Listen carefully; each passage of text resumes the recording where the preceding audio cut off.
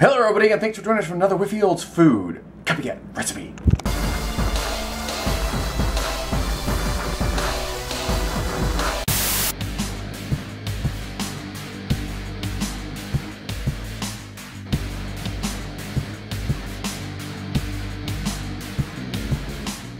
To a place we've never done ever before. Yep, Taco Bell. this is a, a, a new test market item that was brought to attention Thanks, Liz. It kind of it's like one of those things that like they've done so many crunch wraps in the past. It makes you wonder about how this wasn't something that they thought of before. But hey, you know what?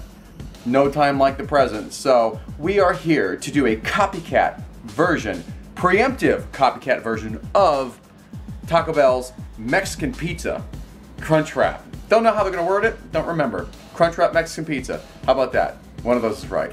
So either way, guys. I don't know about you, but I'm hungry.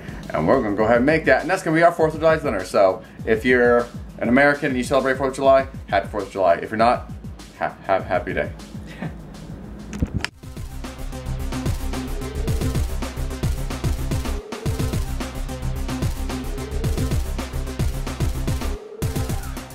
First off, a huge thank you to Sedward1984, aka Craig, for this absolutely gorgeous knife. Seriously, this Yaxell Gou is a work of art. And now my prized kitchen possession. Thank you. I like to use one Roma tomato per Mexican pizza, and damn, this thing's sharp. Oh my god, it's like paper thin. I love this thing. Now for the seasoning, I just tend to use Taco Bell's own seasoning, but I actually forgot to get it for this, so I made my own using Slap Ya Mama and some extra cumin, paprika, and chili powder. It worked. Get your skillet nice and toasty, spritz it with cooking spray, and add your ground beef. Now we use 8515, they use a much fattier version, so ultimately it's your call. Add a quarter cup of water, and what this does is it helps break down the meat into a finer ground. And once you add your seasoning, it creates a sauce. And then my little secret weapon tapioca starch. Just a pinch or two, and it thickens it up to make a perfect Taco Bell esque slurm. You know, but a good kind of slurm. Hey there, pretty lady, what you doing? Huh? What? Oh, the beans, yes. Refried beans. We like to use Taco Bell's brand because, well, this is a Taco Bell meal, so let's just use theirs. You can make yours from scratch if you want. Knock yourself out. Crisco. It's good for the soul. Not so much for the heart, but it is amazing for Mexican pizza and gives you that iconic, classic, bubbly quality that everyone loves. And if you don't love it, why are you here? Once your Crisco disappears into the night, add your little tortilla shell. Now it's about 30 to 40 seconds aside. You gotta be careful because it goes from not done at all to burnt. So just take a little peek and then give it a little flip, and then you're done. It's maybe a minute process, give or take 15 seconds. Grab your XXL shell, not just large, but huge, because anything less will not properly hug your Mexican pizza. Pop that tortilla in between two damp paper towels and mic it for 15 seconds. Now, time to build this beautiful amalgam.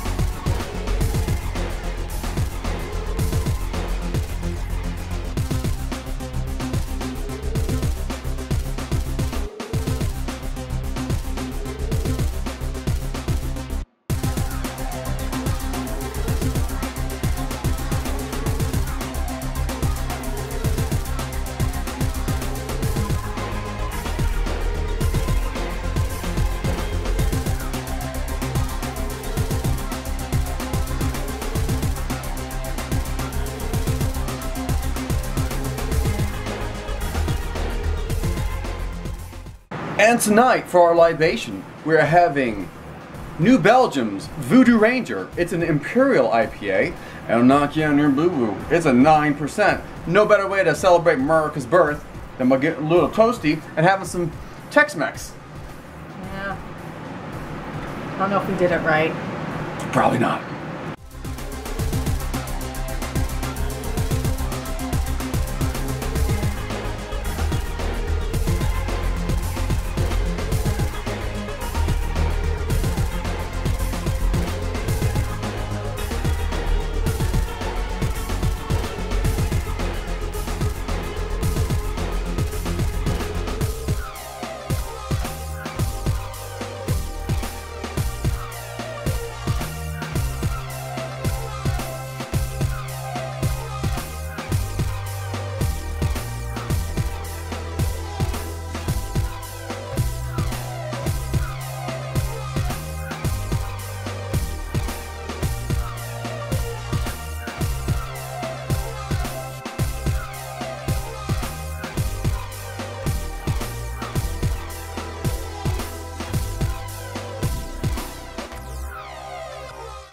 And there you have it, folks. A genuine bonafide copycat recipe of an item that you didn't know existed yet. This is the Crunchwrap Mexican Pizza, or possibly the Mexican Pizza Crunchwrap. It's one of the two. How good does that look? If you hear, if you hear pops, boom, and hisses, it's because it is the 4th of July and our neighborhood's going nuts. Maybe we'll go outside and get some footage of it and put it in here. Something happening out there. Can't see it. We're walking around our neighborhood trying to get, get, get you guys some fireworks shots, but you hear it, you don't see it.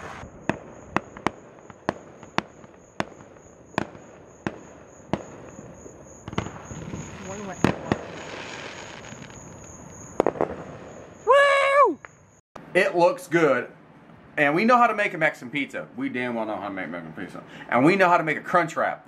So let's see if we know how to make a crunch wrap Mexican pizza or slash Mexican pizza crunch wrap. Looks but good. Either way, Jenn's gonna dive in first. I hear a little crunch, but yet not crazy to get through. Really good. Does it taste like exactly what it is? A Mexican pizza combined with a crunch wrap, or is Yeah. it like a new entity in itself? You know what it needs though.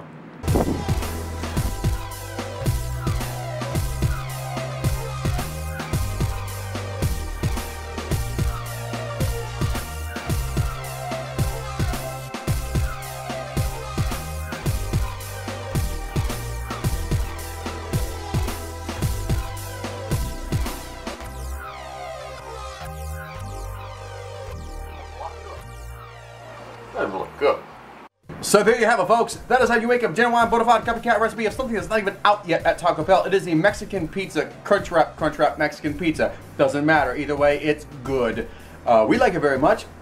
We hope you like it very much. If there's a copycat recipe you want us to recreate or make, let us know in the comments below. Form your words into sentences and put them in the comments down there and we can communicate because that's how it works.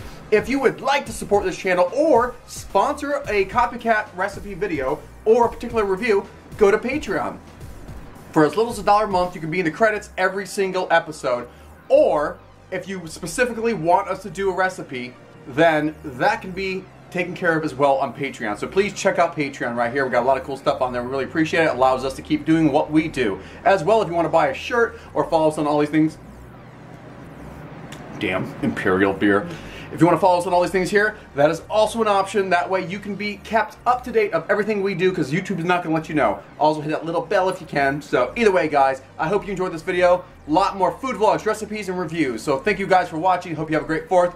And until next time wait oh as always. Gotta eat.